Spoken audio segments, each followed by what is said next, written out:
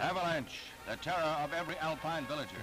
It takes on a grim new form in the shadow of Nadelhorn Mountain, where a rock and ice mass of nearly half a million tons lies poised, waiting only a prolonged thaw to hurtle down irresistibly and crush the Swiss village of Herbriggen.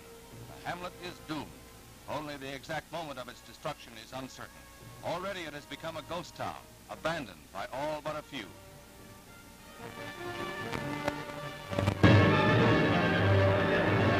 Rumble of the grinding mass is heard incessantly, sounding the death knell of Herbriggen as half frozen it inches along, gouging a scar into the mountainside. The first big thaw will free the huge mass of rock to thunder into the valley and bury the hamlet. There is no hope. Those who have stayed behind keep a death watch.